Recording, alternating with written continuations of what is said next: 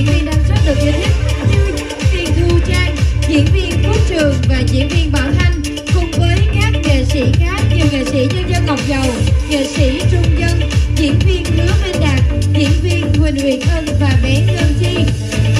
Bộ phim sẽ được ra rạp vào mùa 1 Tết Canh Tý, tức là ngày 25 tháng 1 2020.